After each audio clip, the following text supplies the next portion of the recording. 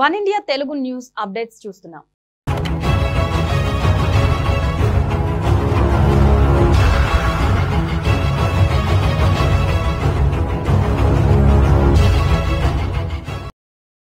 జిల్లాలో లాక్డౌన్ మినహాయింపులు ఏమీ ఉండవని శ్రీకాకుళం జిల్లా కలెక్టర్ జయనివాస్ స్పష్టం చేశారు.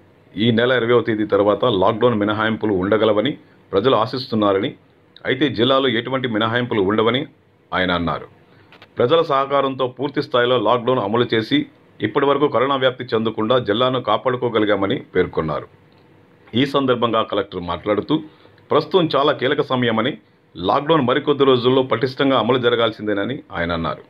ఇప్పటి వరకు జిల్లాను యూనిట్గా తీసుకొని నిబంధనలు అమలు చేశామని ఇకపై మండలాన్ని యూనిట్గా తీసుకోవాలని యోచిస్తున్నామని తెలిపారు. మండల పరిధిలోనే చెక్ పోస్టులను ఏర్పాటు చేస్తున్నామన్నారు. ఇందుకు సమయపాలనతో కూడిన నిబంధనలు అమలు చేస్తామని పేర్కొన్నారు. రవాణా రంగంలో సరుకుల రవాణా మినహా రైలు బస్సులు ఏవి ఉండవని పేర్కొన్నారు.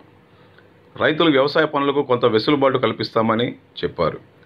కరోనా పరీక్షలను జిల్లాలోనే నిర్వహిస్తున్నామని కలెక్టర్ నివాస్ చెప్పారు. జిల్లాలో పంతొమ్మిది మిషన్ల ద్వారా ఐదు వందల నమూనాలను పరీక్షించడం జరుగుతుందని చెప్పారు. లాక్డౌన్ ప్రజలకు ఒక గొప్ప అవకాశమని కలెక్టర్ అన్నారు. జీవితంలో ఇటువంటి అవకాశం రాదని కుటుంబంతో గడుపుటకు గొప్ప సమయమని ఆయన పేర్కొన్నారు. మన హాబీలకు ఆరోగ్యాన్ని కాపాడుకోవడానికి వచ్చిన అవకాశమని వినియోగించుకొని అందరూ ఆనందించాలని ప్రస్తుత పరిస్థితులను అర్థం చేసుకోవాలని పరిస్థితులకు అనుగుణంగా సర్దుకుపోవాలని ఆయన కోరారు. శ్రీకాకుళం జిల్లా ప్రజలందరికీ నమస్కారం. మీ అందరి సహకారంతో ఈ లాక్డౌన్ అనేది పూర్తి స్థాయిలో జిల్లాలో అమలు చేస్తూ ఉన్నాం.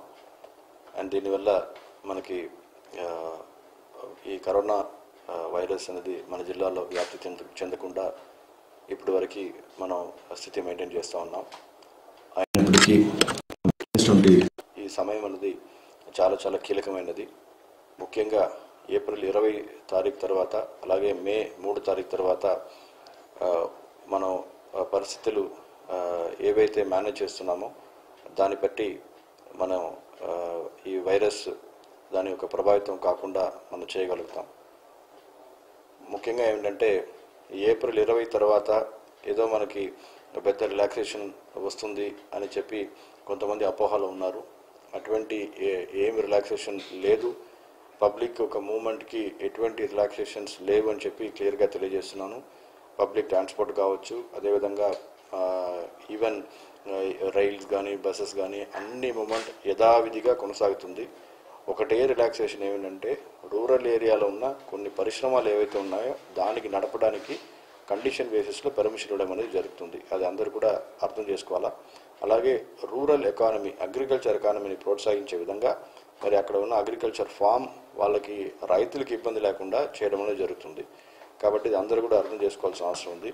ఈవెన్ ఒక రకంగా చెప్పాలంటే మరి ఇంకా మనకి ఇది లాక్డౌన్ అనేది మండల్ స్థాయిలో యూనిట్గా మనం పెట్టడం అనేది జరగబోతుంది. అప్పుడు బికాజ్ ఒక్కొక్క మండల్ని ఇంకా మనం ప్రొటెక్ట్ చేయాల్సిన అవసరం అనేది వస్తుంది కాబట్టి సో అప్పుడు మండల్లోనే ఆ మూమెంట్ అనేది ఎంట్రీ ఎగ్జిట్ అనేది కూడా చాలా కట్టదిట్టంగా అమలు చేసుకుంటూ ఎవరు వస్తున్నారు పోతున్నారు దానికి కూడా సమయం సమయపాలన పాటించి చేసే విధంగా మనం చర్యలు తీసుకోవడం జరుగుతుంది. సో ఈ నేపథ్యంలో మీ అందరికీ ఒక మంచి విషయం తెలియజేస్తున్నది ఏమిటంటే మన జిల్లాలో టెస్టింగ్ అనేది ప్రారంభమైంది. పంతొమ్మిది మిషన్స్ ద్వారా మనం ఇప్పుడు కరోనా టెస్టింగ్ అనేది మన జిల్లాలోనే చేసుకుంటున్నాం. దీని ద్వారా మ్యాక్సిమం ప్రతి రోజుకి ఒక ఐదు వందల శాంపిల్స్ తీసుకునే ఒక మనకి ఫెసిలిటీ మనకి కలిగించారు. అలాగే ర్యాపిడ్ డయాగ్నాస్టిక్ టెస్ట్ కూడా మనకి ఇప్పుడు జిల్లాకి రాబోతున్నాయి. సో దీని ద్వారా కూడా మనం టెస్టింగ్ చేసుకోవడానికి అవకాశం అనేది వస్తుంది. అండ్ uh, ఇప్పుడు మొదటిసారిగా ఎవరైతే మనకి వాలంటరీ ద్వారా చేపడుతున్న సర్వేలో వాళ్ళు కొంతమంది సిమ్టమాటిక్ వచ్చారో వాళ్ళకి మనం అక్కడ టెస్టింగ్ అనేది చేయడం జరుగుతుంది. దీనికి మిమ్మల్ని పూర్తి సహకారాన్ని మిమ్మల్ని uh, ఇవ్వాలని చెప్పి కోరుకుంటున్నాను. ఒక రకంగా చెప్పాలంటే ఈ టెస్టింగ్ అనేది ఎంత ఎక్కువ మనకి uh, చేస్తూ ఉన్నామో అంత ఎక్కువ మనకి మంచిదన్నమాట. మన కూడా జిల్లాలో మనకున్న రాష్ట్రంలో పదిహేను లక్షల మందికి టెస్ట్ చేయాలని చెప్పి అంచనా వేసుకుంటే జిల్లాకి తప్పనిసరిగా దాదాపుగా ఒక లక్ష మంది వరకు మనం టెస్టింగ్ చేసుకోవాల్సిన అవసరం అనేది ఉంది. అది కూడా త్వరగా చేయడం అనేది జరుగుతూ ఉంది. ఈ నేపథ్యంలో కొంతమంది ఇప్పుడు ఏమిటంటే వాళ్ళకి సిమ్టమ్స్ ఉన్నా కానీ వాళ్ళు చెప్పకుండా వాళ్ళు అట్లా దాచిపెట్టడం అనేది జరుగుతుంది. దీనివల్ల ఏమవుతుందంటే ఒక చిన్న ఉదాహరణ చెప్తాను. మీరు అందరూ అర్థం చేసుకుంటారు. మొన్న మనకి ఈస్ట్ గోదావరిలో ఒక వ్యక్తికి ఈ కరోనా పాజిటివ్ అనేది వచ్చింది. ఆ వ్యక్తి ఇరవై మూడో తారీఖు వైజాగ్ నుంచి ఆ వ్యక్తి అనే ఆ వ్యక్తి ఒక టీచర్. ఆయన ఇరవై మూడో తారీఖు వైజాగ్ నుంచి ఈస్ట్ గోదావరికి వెళ్ళారు. ఆయనకి సిమ్టమ్స్ వచ్చినా అతను ఏఎన్ఎం కానీ ఏఎన్ఎం ఆయన పక్కనీళ్ళు ఉన్నా కానీ ఏఎన్ఎం చెప్పకుండా ఒక ఆర్ఎంపీని కలిసి మళ్ళీ తర్వాత ప్రైవేట్ హాస్పిటల్స్కి వెళ్ళి ఈలోగా అక్కడ ప్రైవేట్ హాస్పిటల్లో మరి అదృష్టవశాత్తు ఎవరో ఒక మనిషి చూసి మన శాంపుల్ టెస్టింగ్ సెంటర్కి పంపించేస్తే తర్వాత ఆయనకి పాజిటివ్ అని తేలింది. అంటే ఇప్పుడు దీంట్లో గమనించవలసిన అంశం ఏంటంటే ఈ వ్యక్తి రెండు వందల ముప్పై ఎనిమిది మంది కాంటాక్ట్స్ని ఈలోగా ఆయన కలిసి ఉన్నారు. ఇప్పుడు వాళ్ళు ప్రతి ఒక్కరికి ఇప్పుడు టెస్టింగ్ చేయడం అనేది జరుగుతూ ఉంది. ఒక్క వ్యక్తి వల్ల ఎంతమందికి ఇది ప్రభావితం అవుతుంది అర్థం చేసుకోండి. సో కాబట్టి ఏం చేస్తున్నానంటే మీ యొక్క మీరు ఒక మీ కుటుంబాన్ని రక్షణ చేసుకోవాల్సిన మీ భార్య భర్తను రక్షించుకోవాలంటే ముందుగా మీకు సిమ్టమ్స్ ఉంటే దయచేసి ముందు వచ్చి తెలియచేయండి. మేమే అక్కడ వచ్చేసి ఆ మిమ్మల్ని పక్కన ఉన్న సిహెచ్సి తీసుకొచ్చి టెస్టింగ్ చేస్తాం. ఈ టెస్టింగ్ అనేది ఒక్క నిమిష పని. దీంట్లో ఏమి ఈవెన్ మీకు ఎటువంటి ఒక ఇది కూడా ఉండదు అనమాట జస్ట్ ఒక స్వాబ్ తీసుకుంటారు and we will do the testing అనమాట ఈవెన్ రిజల్ట్స్ కూడా మీకు ఇమీడియట్గా మ్యాక్సిమం ఒక ట్వంటీ ఫోర్ అవర్స్లో రిజల్ట్ కూడా మేము తెలియజేస్తాం. సో దాన్ని బట్టి ఇంకా ఎక్కువ టైం అవుతుంది అంతా మీరు అక్కడ స్ట్రెస్ఫుల్గా ఉండాల్సిన అవసరం కూడా లేదనమాట సో కాబట్టి మీరు అందరూ కూడా దీనికి టెస్టింగ్కి సహకరించాలా? ఎంత ఎక్కువ మనం టెస్ట్ చేస్తున్నామో అంత ఎక్కువ మన జిల్లాని ఒక పరిస్థితి ఏ విధంగా ఉంది ఇది మన జి- జిల్లాలో నిజంగానే వ్యాప్తి చెందిందా ఉందా ఇక్కడ అది మనకి నిర్ధారణ చేయడానికి దీని తప్ప వేరే అవకాశం లేదు. కాబట్టి మీరందరూ కూడా సహకరించాలని కోరుకుంటున్నాను. అలాగే ఈ లాక్డౌన్ అనేది పూర్తి స్థాయిలో అమలు చేయాలా? అంటే ఏదో మెయిన్ రోడ్స్లో మాత్రమో అటువంటి మనకి ఆ రోడ్స్లో మాత్రం ఉండాలని చెప్పి మీరు దయచేసి ఇది చేయకండి. మళ్ళీ ఒక ఉదాహరణ చెప్తాను. నిన్న విజయవాడలో లాక్డౌన్ ఉన్న రెడ్ జోన్ అని ప్రకటించిన ఏరియాలో అక్కడ ఉన్న ఒక వీధిలో ఉన్న ఆల్మోస్ట్ ఆ వీధిలో ఉన్న ఒక నాలుగైదు ఇల్లు వాళ్ళకి వచ్చేసినాయి. రెడ్ జోన్ ఉన్న. ఎందుకు వచ్చిందంటే ఒక ఇల్లు వాళ్ళకి వచ్చింది. వాళ్ళు పక్కన ఇల్లు వాళ్ళతో కలవడం పక్కన ఇల్లు వాళ్ళతో మాట్లాడడం అండ్ ఇట్లా మనం మీరు లాక్డౌన్ అనేది అర్థం చేసుకోండి. మీ ఇల్లు అంటే మీ ఇల్లు.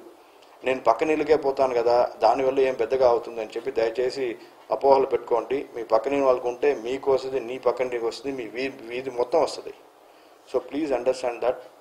అంటే మీ ఇల్లులో మీకు ఒకవేళ బయట పోవాలంటే మీ ఇల్లు పైన పైన వెళ్ళండి వాట్ ఎవర్ దర్సింగ్ అనమాట అండ్ ఈ సమయంలో సరిగా మీ- మీరు వాడండి. లాట్ ఆఫ్ నేను అయ్యే చెప్తా ఉన్నాను మంచి పాటలు వస్తున్నాయి.